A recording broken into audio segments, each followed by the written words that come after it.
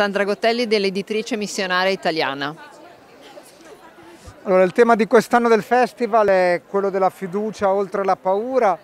Voi però da sempre avete avuto nella vostra collezione, diciamo, nel vostro catalogo dei testi che aiutano proprio i lettori ad avere comunque fiducia in un futuro diverso, in un futuro possibile, giusto? Assolutamente, confermo esattamente quello che ha detto perché Amy, che l'anno prossimo festeggerà i 50 anni di vita, ha sempre avuto nel, nella sua filosofia, nella sua filosofia editoriale, l'idea di, eh, oltre dei testi filosofici e teologici, anche di produrre dei libri che guardassero al futuro, sempre con ottimismo, sempre verso l'incontro, sempre verso la fiducia dell'altro, sempre possi nella possibilità che si possa fare qualcosa non solo nei confronti degli altri ma anche nei confronti della madre terra eccetera. Noi eh, siamo sempre stati come dire, uh, vicini alla Chiesa in cammino.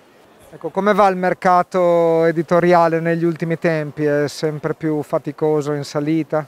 Ma guardi, dipende. Incredibile ma vero, durante il lockdown abbiamo avuto dei buoni risultati attraverso magari eh, i webinar, attraverso i libri digitali, eccetera. E, e, niente, nonostante che il nostro settore è un settore comunque di nicchia, eh, noi ci siamo allargati, come dicevo prima, in tematiche che sono più nelle corde di tutti i giorni, che sono ormai eh, nei telegiornali e pertanto insomma facciamo la nostra parte.